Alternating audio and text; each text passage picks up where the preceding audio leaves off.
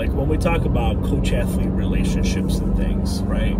Like there's a lot at that that's been written at that uh, like older middle school, high school level, where uh, more competitive like club teams, club athletes, where, these, where similar findings to what I have found, or similar findings to what many others have found um, about the relationship between, uh, or the perceived relationship from the athlete and the coach and expectations and performance and things, right? Goal attainment, goal achievement.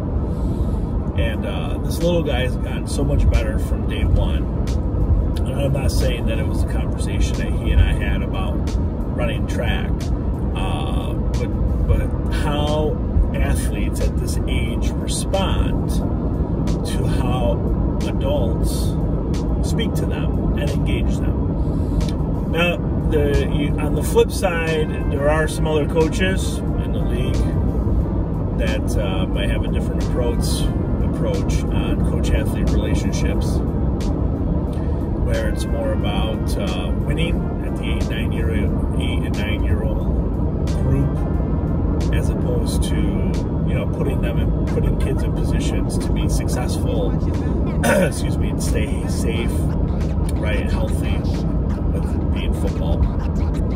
And um, I look at my college coaching career and some of the college athletes that I've worked with that, um, you know, the conversations that we have as adults with our young adults, our, nine, our 18 to 22, they do have lasting impacts and they do have lasting residuals um, depending on how you know those interactions go and, and positive or negative.